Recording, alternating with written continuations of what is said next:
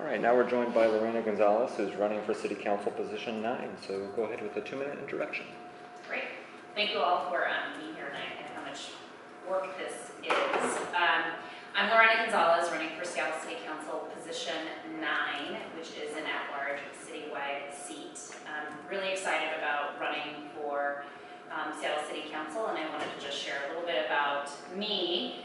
Um, uh, I grew up in central Washington State um, in a migrant farm worker family. I went to um, public college at Washington State University, got a degree in business, and then moved away for a little bit to Los Angeles and uh, came back here, found my way, came back to uh, Seattle and went to law school in 2002 um, and worked as a lawyer for 10 years, primarily focusing in civil rights work and um, also doing some employment discrimination work and representing victims of uh, sex abuse against the state um, and whatnot. So uh, I am really excited to be here once again. I look forward to answering more of your questions and happy to leave materials that describe a little bit more about my background um, for you all to enjoy later. Great. So now we have our four prepared questions. These are two-minute answers. And David, will you start with? Oh, I'm sorry. The, you have a sheet in front of you that's upside down. Feel free to turn it right side up, and you can read along with our four prepared questions as we go along. Okay. Great. So David, number one. Are you sure it's me? I'm sure it's you. Am Uh, Seattle is experiencing a housing affordability crisis. Several policy responses have been suggested, including linkage fees, incentive zoning, subsidized housing, rent control, others. What is your approach to keeping Seattle affordable? Well, I think as we move forward in terms of keeping um, Seattle affordable, we have to keep all of the options that are listed there on the table. There are two uh, that I, there are two things that I want to point out that are critical to me. The first is that I think we need to continue supporting the housing levy. It's going to come up for renewal in 2016. Think it's critically important for us to make sure that we get behind that. Um, you know, for, currently in Seattle, for every one dollar that is spent, uh, the levy leverages four dollars for affordable housing um, and, and affordable housing development. And I think that one thing that we need to keep in mind as we move forward is that certainly we need to grow the the, the, the levy, but you know, so for example, growing from $20 million to $40 million doesn't necessarily translate into doubling the number of affordable units in the city. So we have to be really thoughtful about how we're going to uh, get funding from other areas to make sure that we're able to leverage our tax dollars effectively. Now, um, on the, the second thing that I would like to point out there is with regard to developer. I do think that developer fees are both necessary and appropriate to be able to help us um, move forward with the affordable housing crisis that we're currently in. And, and frankly, I think that developers can be a very powerful partner for us in moving, moving the needle forward on the affordability um, issue. And I, I think really what it's going to come down to is figuring out what the balance will be between the fees charged to the developers and, um, and the type of incentives that the city's going to be willing to give developers in order to do that type of work. And so I'm looking forward to getting the report uh, from the HALA committee to be able to uh, really study what that balance should be and um, help the city move forward. Great. Elizabeth, number two.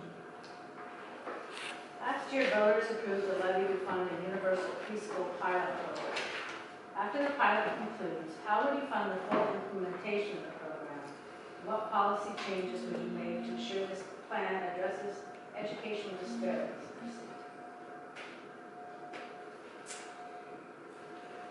So I think first and foremost, really supportive of the, of the pre-K plan that was approved overwhelmingly by the voters in November. I think it's a great step forward. Currently, the way that the four-year pilot is structured, we would ramp up to 2018 to serve 2,000 um, kids. And I, I think the approach that has been laid out is a methodical one. I think it's a very thoughtful one.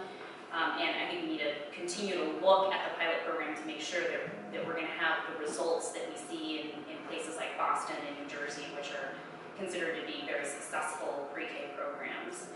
Um, currently in the city, we have about 12,000 three and four-year-olds in the city, and that number is growing really fast in our city. And, um, and I think that, that that just means that we have a long way to go in terms of from 2000 to you know, serving all of the 12,000 and growing, we have a way to go before we get to universal pre-K. But I think that's where we need to move the pilot to. I think the question will be is how do we take it to scale um, in a timely way but without compromising the delivery of results to low-income neighborhoods and to low, um, low-achieving um, neighborhoods and to other people who want to access the pre-K system. So I think that right now, that the, the funding, the expiration of the levy is in 2018, and that's going to provide us an opportunity to sort of both take a look at the success of the program and look at other funding sources. Ultimately, I'm hoping that in the future, whatever levy dollars we are able to get out of a renewal of a proposal, um, if our pilot program is, is successful, is that we'll be able to leverage every dollar that we use that is a city taxpayer payer dollar with federal money, state money, and even philanthropic um, money. And in all those sector, sectors, we are seeing an increased amount of interest in funding pre-K, and we need to be ready to do that. Great. Liz, number three. Uh, Me, number three, Bertha is still stuck.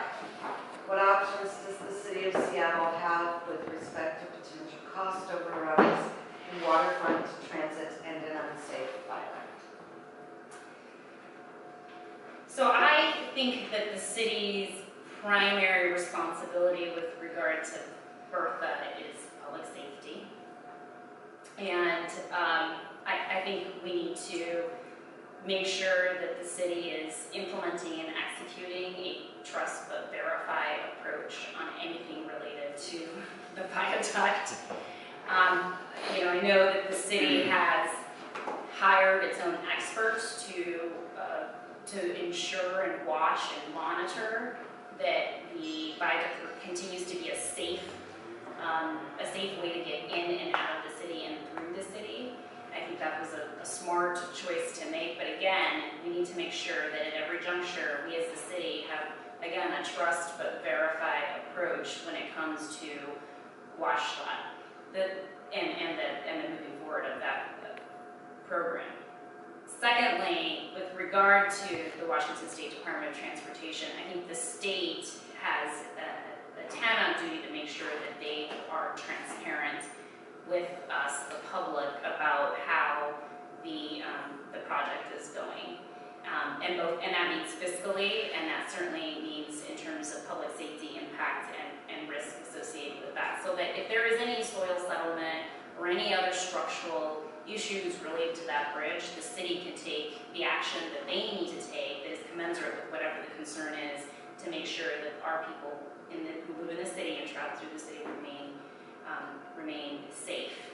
And, uh, and I think lastly, I would just say that I think in terms of cost overruns, again, that's a trust but verify approach is what I'm calling it. But, but at the same time, I think that we as a city need to make sure that we're monitoring our own project, which is the seawall.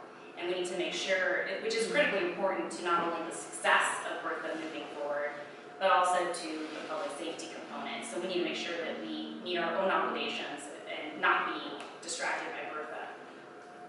Maria, number four. Seattle is the fastest growing big city in the country. Should we encourage or discourage this growth? And what policy changes are necessary to accommodate growth?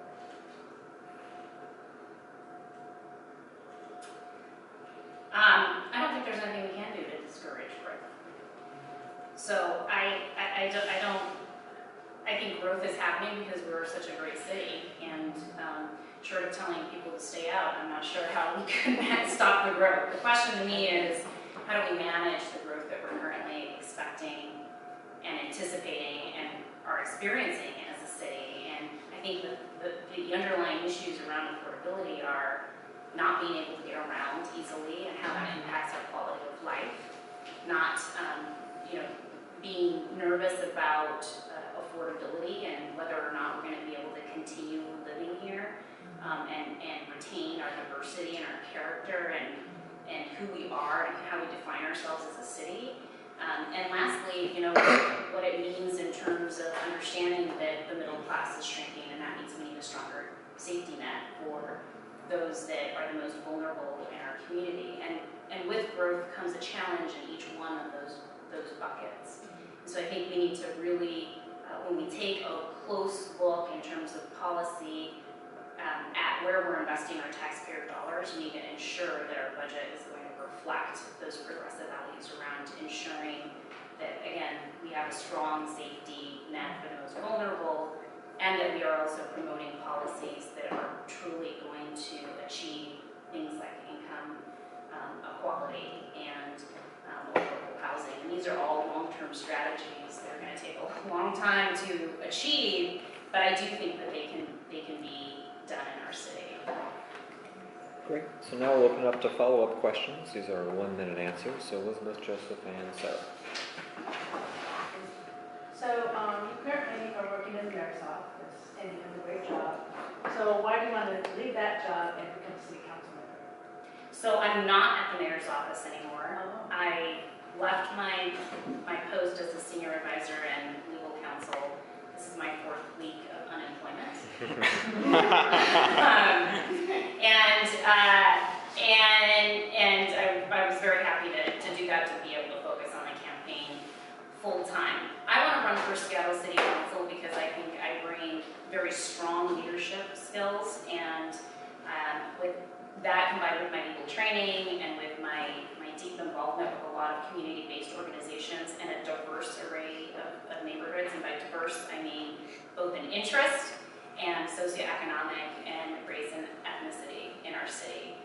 And I think that also my background growing up as, as somebody who grew up uh, overcoming the challenges and boundaries both in education and society that are associated, typically associated with poverty, I think are all issues that are not, or perspectives that are not fully represented on the city council. And I want to be able to put those skills to the test, and I want to, I want to put them to good use and uh, make sure that our city moves in the right direction. So Joseph and Sarah.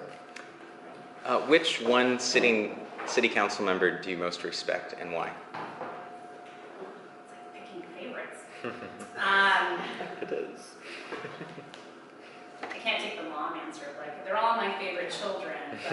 Just one. Love all my children, Yeah. but, um, I, I, one that I respect the most, um, gosh, that's a hard one. It really is hard. I We mean, promise. I'm writing down the clock. I'm intentionally writing down the clock. I'm just kidding. Um, you know, I have to say, and this might be a surprise, but, um, but I have to say that, uh, that I have a great amount of respect for Councilmember Sawant. And I- I'll, I say that for the following reason, is that I may not agree with her approach to how to solve policy solutions all of the time, and I may not agree with even some of her policy decisions or, or direction. But I do respect the fact that she fundamentally understands who her constituency is, who she represents, and what her values are. And I, I would aspire to adopt those values, those, that type of framework. Uh, Sarah, then Evan. Um, Jeff, I thought I was on this too. I will add you to the list. Sarah, Evan, then Mary. So Mayor Murray wants to nine and a half block strategy to try to address downtown street crime, et cetera. So I'm just wondering what your approach to that would be, and also uh, in regards to King County prosecutor Dan Satterberg, who's been kind of charging some low-level drug crimes not as felonies, but as misdemeanors, are you kind of supportive of that, and providing more mental health services, et cetera? Um, What, what would your approach be to the crime issue? Yeah, public safety in general. Um, so, so I was at the mayor's office when we, when the nine and a half block strategy was being, um, designed, and I think that where it came from was just a, a, a real feeling that something uh, significant needed to be done to address, uh, crime in the downtown area. Now, as part of that, if we're going to have any sort of law enforcement or increased enforcement strategy, um, we need to make sure that we are we're not just funneling people into the criminal justice system and that we're actually matching up people with human services that they actually need that are leading them to um, to be in the circumstances that they're in. So LEAD, I think, is a great, great, fantastic, innovative program that I think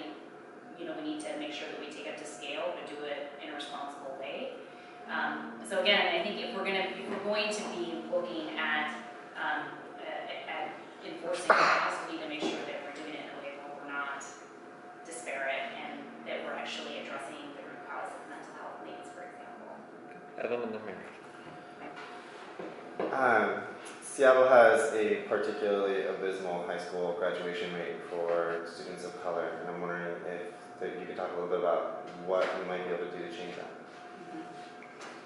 So this is an issue that is really important to me.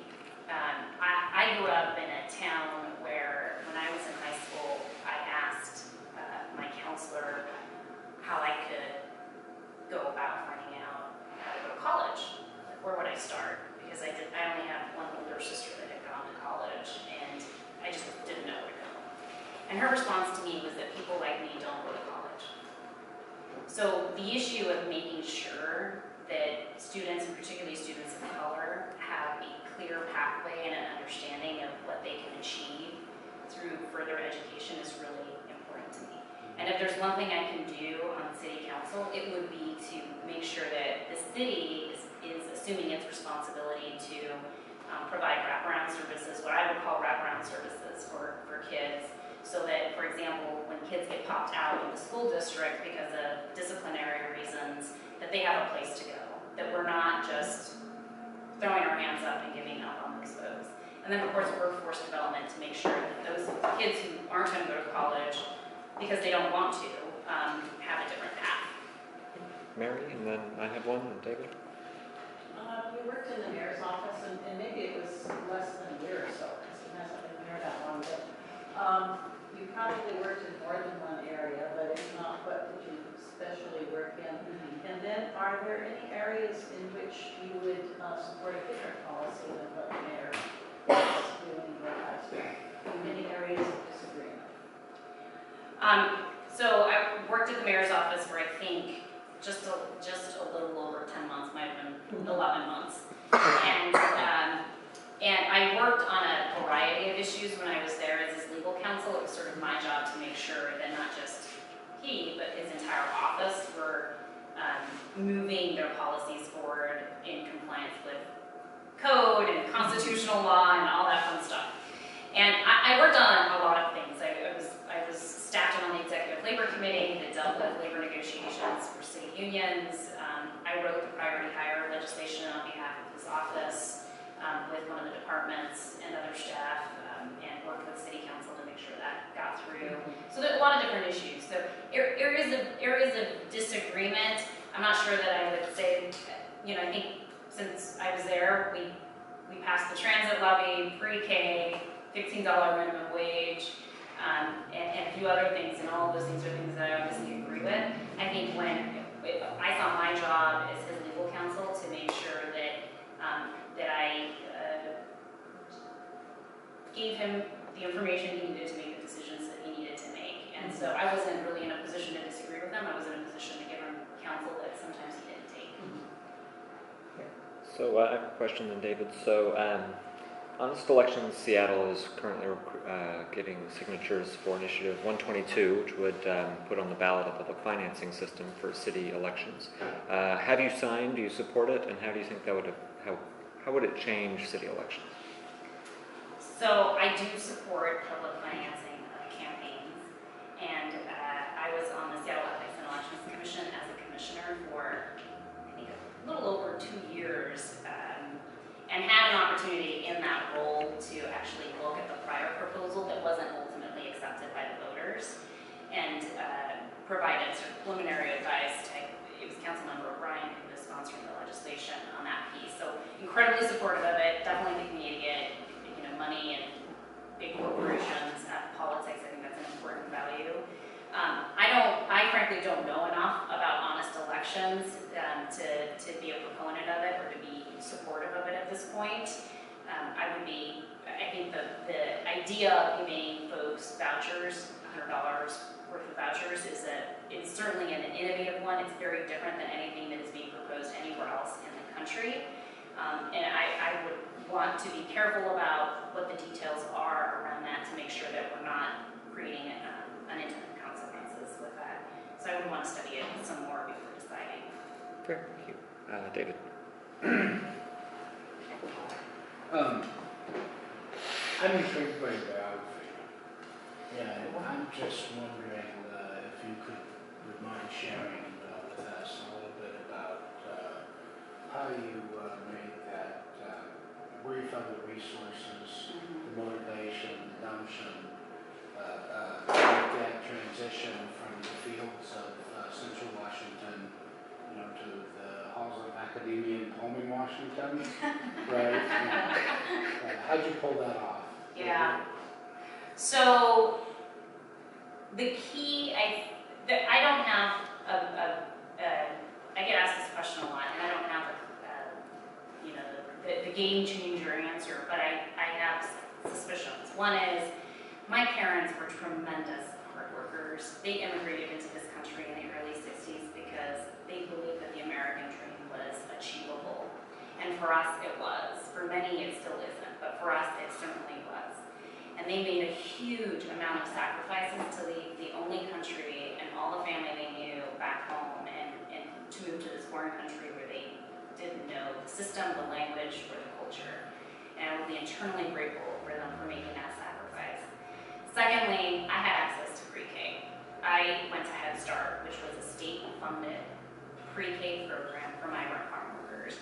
And I think that that made all of the difference in my world to put me onto the path that I am on now. And, um, and, and I think that those, those are the two things that really sort of led to shaping me who I am. And of course, just work ethic and knowing what that means and, um, and uh, probably being a little bit of stubborn as well in terms of um, determined to achieve and make my parents proud. So we are out of time, but if you want to take 30 seconds for a closing statement. That was fast. It was fast. Um, so again, thank you so much for having me here and for asking such thoughtful questions. Um, I'm really, I am really truly excited about, about being on the city council and about tackling these issues and about doing that in a way that is very collaborative. Um, but of course also one that is oriented towards action because I think that's what we're really gonna need. One of the reasons I'm running for the citywide seats is because, uh, again, I think um, I have a very strong passion for working on these bigger, harder to solve um, issues and challenges that are facing our city. And I hope to get your endorsement so that I'm able to, uh, to do that work. Great, thank you very much.